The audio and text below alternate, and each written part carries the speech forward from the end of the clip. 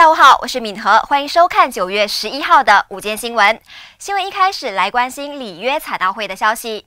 大马健儿昨天在里约残奥会为大马带来惊喜，不但勇夺残奥会史上首面金牌，而且还在一天内连夺两面。大马短跑好手莫哈默李祖安以及铅球手莫哈默吉亚纷纷以破纪录的姿态摘金。首先。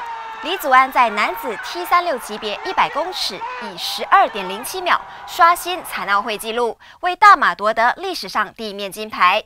之后，穆哈莫吉亚也在 F 二十级别铅球赛以十六点八四公尺的成绩打破世界纪录，拿下第二金。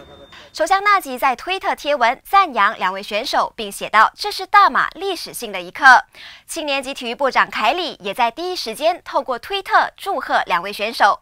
凯里说：“大马选手创造了历史，是人民的英雄，并且预告大马的第三位选手，也就是担任这一次残奥会的旗手阿杜拉迪夫，也将会在今天晚上九点半的 T 二零级别跳远项目中登场。”为大马力争第三面的残奥金牌。另外，根据凯里早前宣布，在残奥会夺得金牌的大马选手一样可以获得一百万令吉，同时也可以获得每个月五千令吉的退休金。来看下一则。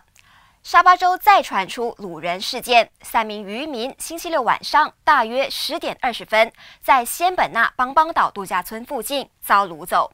根据《新报》报道，三名渔民怀疑遭到七名持枪的菲律宾武装分子掳走，并且已经被带往菲律宾南部的塔威塔威省。沙巴东部特别保安指挥区的总指挥官万阿杜巴里也已经证实这起事件，并且表示当局是在今天凌晨卸货投报。沙巴州警方之后将召开记者会公布细节。